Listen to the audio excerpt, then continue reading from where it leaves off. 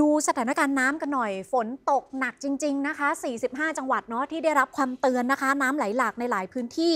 ดูจุดแรกที่พิจิตรกันก่อน เพราะว่าเขาติดธงแดงเตือนประชาชนแล้วนะคะ ให้ระวังน้ำล้นตลิ่ง ที่พิจิตรก็คือที่จะต้องระวังก็คือแม่น้ำยมกับแม่น้ำน่านครับไหลผ่านหลายอำเภอของพิจิตรนะคะ ปริมาณน้ำในแม่น้ำยมกับแม่น้ำน่าน เพิ่มขึ้นต่อเนื่อง ทางผู้อำนวยการชลประทานของพิจิตรเนี่ยก็เลยสั่งตั้งธงแดงบริเวณสะพานข้ามแม่น้ำน่านแม่น้ำยม เตือนประชาชนที่อยู่อาศัยอยู่ติดแม่น้ำขนของมีค่าขึ้นที่สูงนะคะเออตอนเนี้ยเขาบอกว่าน้ำต่ำกว่าตลิ่งแค่ 49 เซนติเมตรครับไม้บรรทัดกว่าๆเองเนี่ยเอาธงแดงมาปักแล้วนะคะ มีประชาชนได้รับผลกระทบแล้ว 1,191 หลังคาเรือน พื้นที่การเกษตรอีกพันกว่าไร่นะคะ ที่ถูกน้ำท่วมไปแล้วค่ะอืมคุณผู้ชมฮะในขณะเดียวกันเนี่ยล่าสุดในพื้นที่เพชรบูรณ์อย่างอำเภอหล่มสักเอง ก็โอ้โห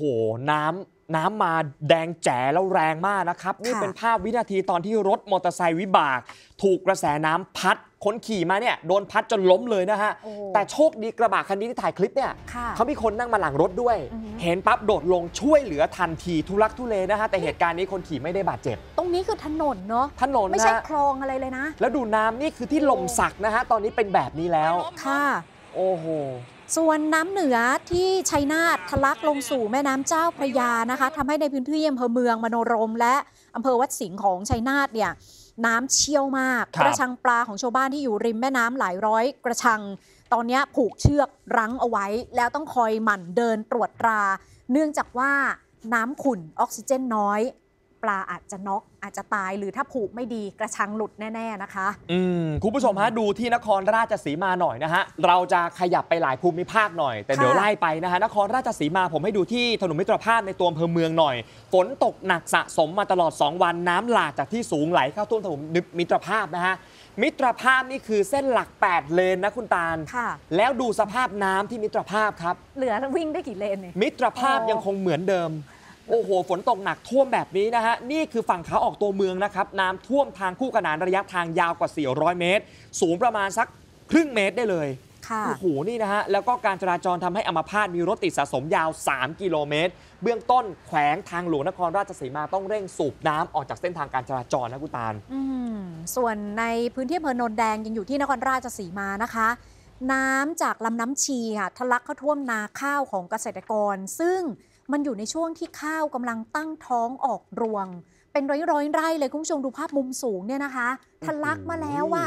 คือถ้ามันลดระดับทันข้าวครับจะไม่เป็นไร แต่เนี่ยท่วมเลย แต่ตอนนี้มันท่วมแล้วไม่รู้ว่ามันจะอยู่ค้างนานกี่สัปดาห์ เพราะน้ำยังคงเพิ่มปริมาณสูงขึ้น ฝนตกในพื้นที่ต่อเนื่องนะคะ ตอนนี้เตรียมการให้ความช่วยเหลือชาวบ้านในการอพยพก่อนค่ะ ครับ เช่นเดียวกับที่จังหวัดขอนแก่นนะครับ บ้านโนนสวรรค์หมู่ 8ตำบลเขื่อนอุบลรัฐนะครับ